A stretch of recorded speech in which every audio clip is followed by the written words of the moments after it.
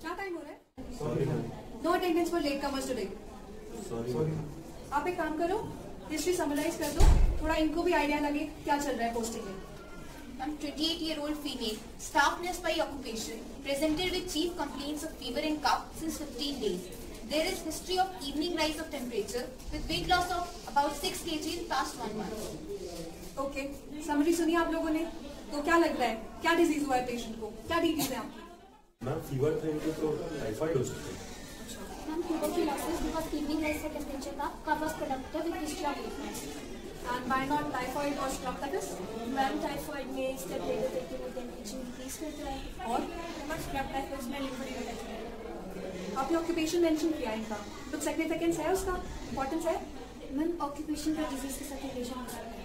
Okay आपको लगता है कि इनकी डिज़ीज़ का कुछ रिलेशन है इनके ऑक्यूपेशन के साथ? तो बोल सकते हैं कि ट्यूबरक्यूलोसिस ऑक्यूपेशनल हजार्ड है। लिम्बो इन्फेक्शन हॉस्पिटल के बाहर से भी रिक्वायर हो सकता है। वेरी लाइकली हो सकता है। आपने पूछा कौन से डिपार्टमेंट में पोस्टेड थे सिस्टर जी कौन से डिपार्टमेंट में पोस्टेड थे आप? इन्होंने बोला pulmonary medicine now what do you think ma'am more likely hospital अगर हो सकता है because she was posted in pulmonary medicine तो अब लगता है आपको कि ऑक्यूपेशनल हजार्ड हो सकता है tuberculosis okay fine give me attendance and find this out yourself यार तुम्हें लगता कि हॉस्पिटल के सेटअप में रहते रहते हमारे ट्यूबरक्लोसिस के चांसेस बढ़ जाते क्यों नहीं यार? पता है सीनियर बैच में जो बॉस है ना वो मेरे गाँव से है। लास्ट ईयर उन्हें ना स्पाइन में ना वो हड्डी वाला ट्यूबरक्लोसिस हो गया यार सर भी तो बता रहे थे कि उनके एमबीबीएस बैच में पाँच लोगों को ट्यूबरक्लोसिस हुआ था। हाँ यार मेरी भी बड़ी बहन को फाइनल ईयर में इंटेस्टाइनल ट्यूबरकुलोसिस हो गया था। सीरियसली चलो यार वरना मैं फिर से पीएसएम के लिए लेट हो जाऊँगा।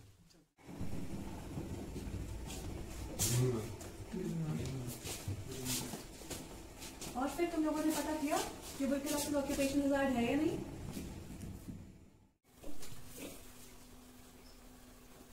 Students, हमारा डिपार्टमेंट एक इंट्रा कॉलेज कंपटीशन ऑर्गेनाइज कर रहा है for the occasion of world tuberculosis day जैसे मैडम ने आपको इस एक्टिविटी के बारे में बताया आप सब सोच रहे होंगे कि ट्यूबरक्लोसिस हर डिपार्टमेंट में इतना इंपॉर्टेंट टॉपिक क्यों है डिस्कशन का?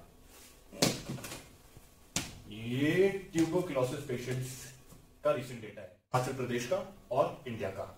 इन सब पेशेंट्स के इलाज की रिस्पॉन्सिबिलिटी हम हेल्थ केयर वर्कर्स पर है। पर अगर हेल्थ केयर वर्कर्स ही टीबी से अफेक्ट हो जाते हैं तो ये रिस्पॉन्सिबिलिटी हेल्थ केयर डिपार्टमेंट कैसे पूरी करेगा? बिल्कुल सही। हेल्थ केयर वर्कर्स रिसेंटली काफ़ी ज़्यादा अफेक्ट हो रहे हैं।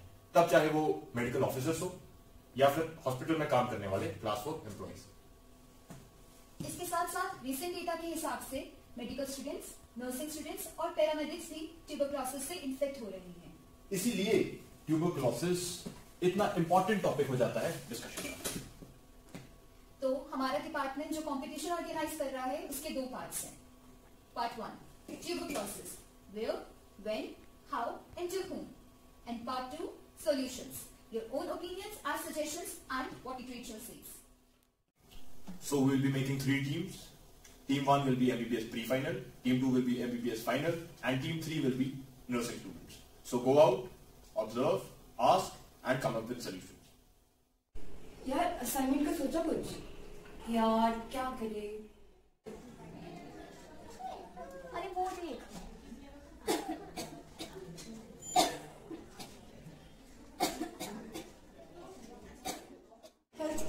सिस्टम में पेशेंट के साथ हमारा क्लोज कांटेक्ट ऑलमोस्ट अनअवॉइडेबल है ना?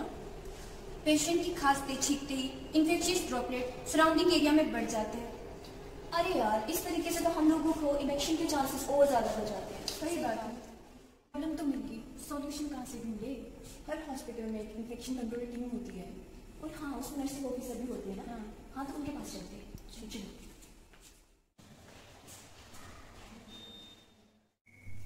इन पेशेंट डिपार्टमेंट में जो भी पेशेंट एडमिट है हम उनको कफिंग एंड स्नीजिंग एटिकेट्स के बारे में बताएँगे। इंश्योर करेंगे कि वो मास्क पहने।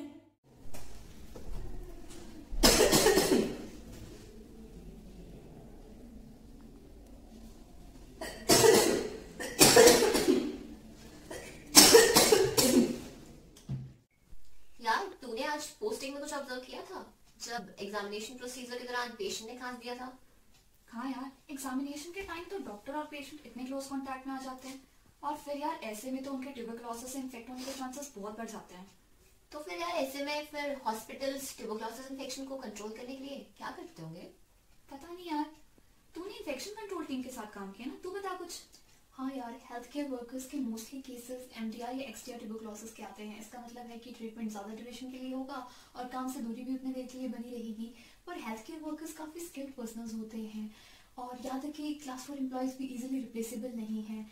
इसलिए infection control teams health care workers में ट्यूबरक्लोसिस को रोकने के लिए बहुत ही इंपॉर्टेंट रोल प्ले करती है। देखो, यह है सर्जिकल मास्क क्या आपको लगता है कि यह सर्जिकल मास्क हमें ट्यूबरकुलोसिस बैक्टीरिया के अगेंस्ट प्रोटेक्शन प्रोवाइड कर सकता है?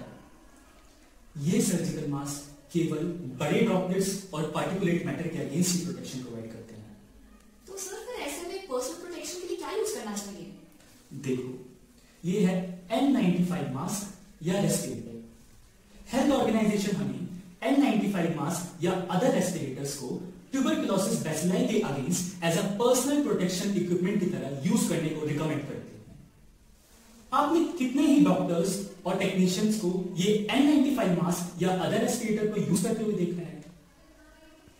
क्या आप मुझे रीजन बता सकते हो इन N95 मास्क और अदर रेस्पिरेटर्स को यूज़ ना करने? सर क्योंकि ये कॉस्टली है। हाँ। और सर ये जनरल सेटअप में यूज़ करना इतना कन्वीनियंट भी नहीं है। यार दोनों टीम डाटा ले आए हैं। अब हम क्या करें? हाँ यार मेरी ट्यूबरक्लोसिस स्क्रीनिंग यूनिट है ना। हमें यहाँ से कुछ आइडिया मिल सकता है। चल इन पेशेंट को फॉलो करें। हाँ यार चल।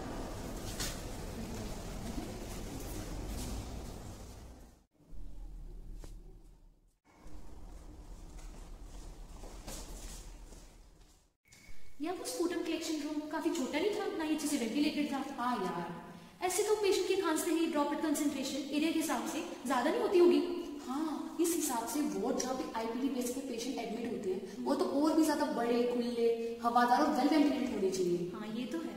तभी तो ड्रॉपलेट कंसेंट्रेशन एरिया के हिसाब से कम हो जाएगी और फिर चाहे वो दूसरे पेशेंट हो या हेल्थ केयर वर्कर्स हो उनका ड्रॉपलेट से कॉन्टैक्ट टाइम भी कम हो जाएगा और फिर ट्यूबरक्लोसिस इन्फेक्शन के चांसेस भी कम हो जाएँगे है ना यार तुझे नहीं लगता जब ट्यूबरकुलोसिस पेशेंट्स के डायग्नोसिस और ट्रीटमेंट में डिले होता है उससे दूसरों के इन्फेक्ट होने के चांसेस बढ़ जाते हैं। हाँ यार जो आईपीडी और ओपीडी में डायग्नोस्टिक और ट्रीटमेंट सर्विसेज़ में डिले हो रहा है उसको रोक कैसे सकते हैं? ये देख ये है priority pass for fast tracking ये हमारे हॉस्पिटल में भी यूज़ होता है। इससे जो भी हमारी डायग्नोस्टिक और ट्रीटमेंट सर्विसेज़ डिले हो रहा है उसको हम रोक सकते हैं। Priority pass for fast tracking Team 1, Team 2, Team 3. Result will be announced on 24th of March.